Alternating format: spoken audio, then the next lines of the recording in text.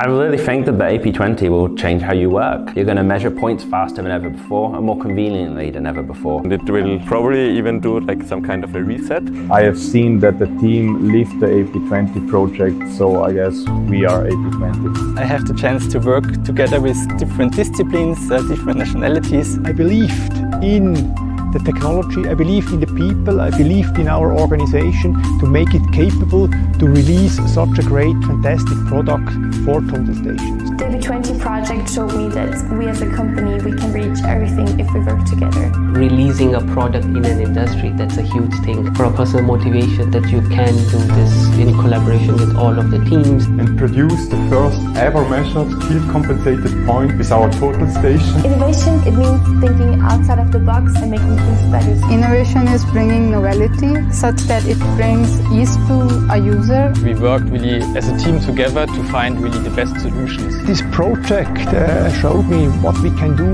with a great team, a great organization, a great company.